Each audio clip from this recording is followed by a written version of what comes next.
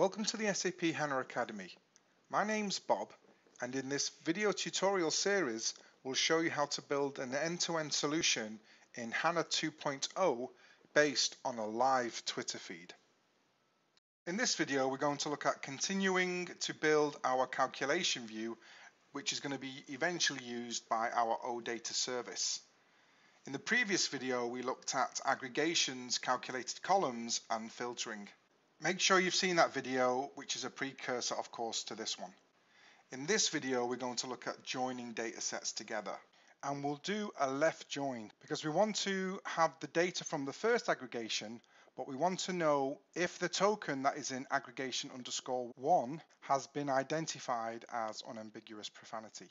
In which case, we're going to change the value of the token to five stars. So let's do a join. We'll put that somewhere between the aggregations and the central aggregation pointing towards our semantics. And then we're going to connect our two aggregations to that join. It's a good idea to take the aggregation that you created first and join it to the join underscore one first. Then you'll join that second aggregation to your join as well. So I'll just select that join icon and then drag it to join underscore one. So now when you select the join node, you'll see both the aggregation underscore one and the aggregation underscore two. So firstly, we need to select the TA token from aggregation underscore one and using the arrow, we can just join that to the TA token on aggregation underscore two. Now we don't need to join on TA type and also we don't want to join on TA type because then only the unambiguous profanities will be outputted in this calculation view because of course it will get filtered. Now, what we want is if it's a profanity and it's also found in negative sentiment, we want that to be filtered. So that's why we only join on the token. Now we're going to perform a left join. So you'll see at the bottom, you can change that option within the join type. So if we select that join type, we're going to select left outer, making sure that the left join is aggregation one and the right join is also aggregation two. So when we've done that, we're going to create some calculated columns. We're going to create a few, in fact. So firstly, what we're going to do is rename that TA type column to something more meaningful. So I'm just going to rename it to have the case lowered. So I'll create myself a new calculated column. I'm going to call it type.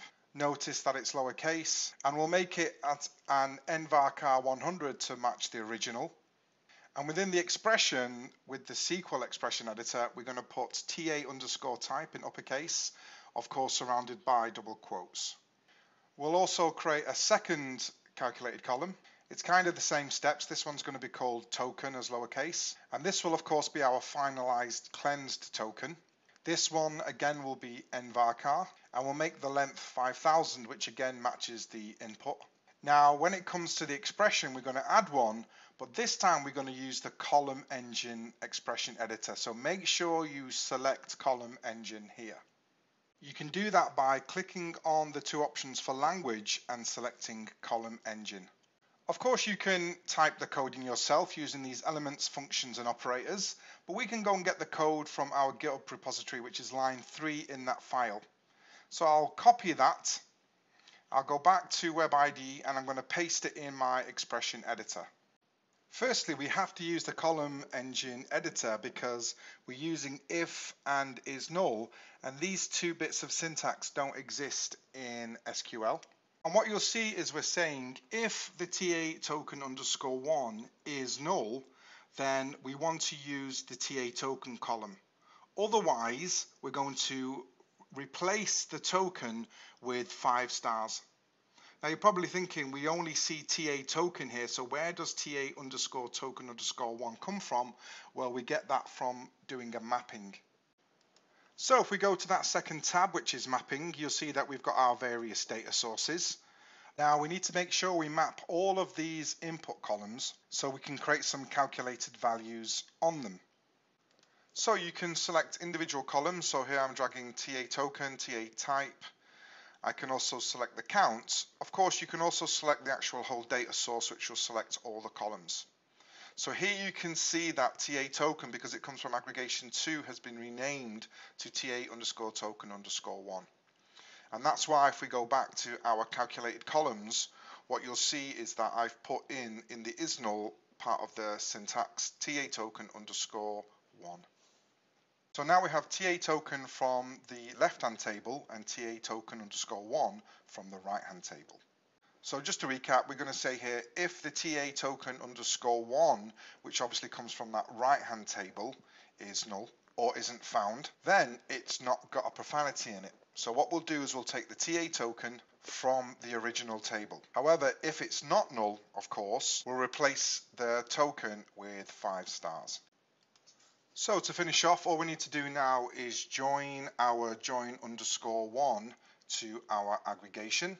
So we'll select the join underscore one, we'll select the arrow, we'll point it to our aggregation. Then what we'll do is we'll select the aggregation and we need to select our column. So we'll select type, token and the count and we can actually ignore all the other columns they're just used in syntax in functions the only thing you should do is select the count and make sure that the aggregation behavior is set to sum. This is because we want it to be summed dynamically as we filter and use it in our OData service. So that's all we need to do. So if we go to our semantics there's nothing that we have to change here. Everything's been automatically taken care of further down so we'll just click on save. So I'll reset it to default. And then what I'll do is I'll right select text analysis and I'll select build selected files it's going to take a few seconds to build so when it's been built we can go and test it so to test it you should get obviously no errors here what we need to do is go to our database explorer so what I'll do is I'll close this um, calculation view. We'll go to our Database Explorer and then we'll need to select our column views because when you build a calculation view, it's actually a column view. This is the view that you've built dot text analysis. You'll see three auto generated views for each of the columns in the view. And before we do some exploration, let's go and change our settings here, which is the third option. If we go to Database Explorer SQL Console and we scroll down, Let's change the maximum number of rows displayed and we'll change that to 5000. It means we'll get more data here when we look at the results. And lastly, don't forget to click on save. So now if we go back to the Database Explorer, we can start to look at the data. So within the column view, what I'll do is I'll select text analysis and I'll right click and I'll choose open data. The first thing you'll see is on the top right hand side is that we're outputting 5,000 rows. In terms of the data, we have our type, our token, and the count of each which has been mentioned. Now, if we filter, we can go and look at the profanity. So if I select the type, and if I click on the drop down, the specify filter value, you should be able to find unambiguous profanity. Now, if you can't, don't worry too much because what we can do is we can specify the value on the right hand side.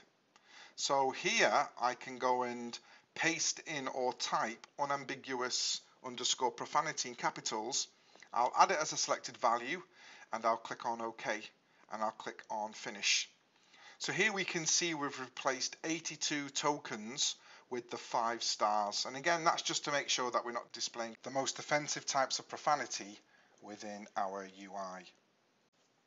So now that we've built our different types of views, we've built a series of column views using CDS syntax and we've also built a singular calculation view which will be used by our OData service.